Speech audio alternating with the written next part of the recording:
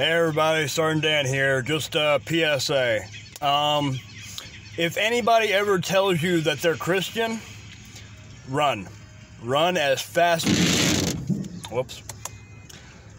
Like I was saying, run. Run as fast as you can.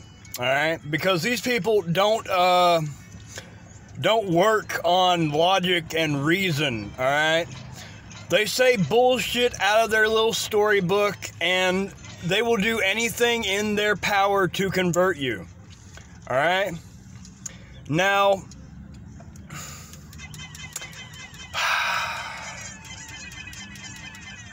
I don't care what you believe, all right? You can believe in Norse mythology, Greek mythology, you know, Christian mythology, or or whatever, right? It doesn't fucking matter. But the instant you start using your religion as a way to either put down somebody or or, or anything like that, right? You're a piece of shit.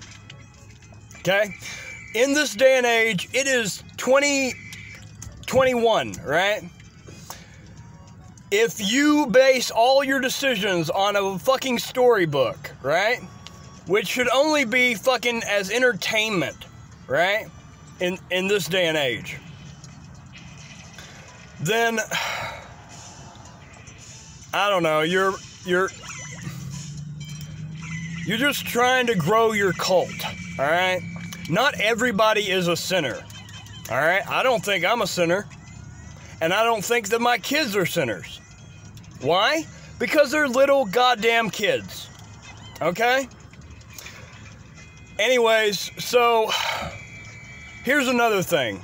I've been getting random fucking texts from some fucking number that I don't even know, right? Saying that if I don't, uh, if I don't start worshiping their God, then bad shit will happen to me. Anyways, religion is whatever. Believe whatever you want, right? I believe in in freedom of choice and religion. But I, I, I think and I know that all religion is bullshit and should not be done or taken seriously other than entertainment value. You know?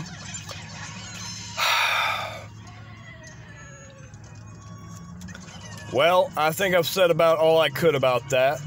Um, yeah, I hope that this wisdom will uh, help you, you know, not have to waste your time with with people who who aren't inherently good.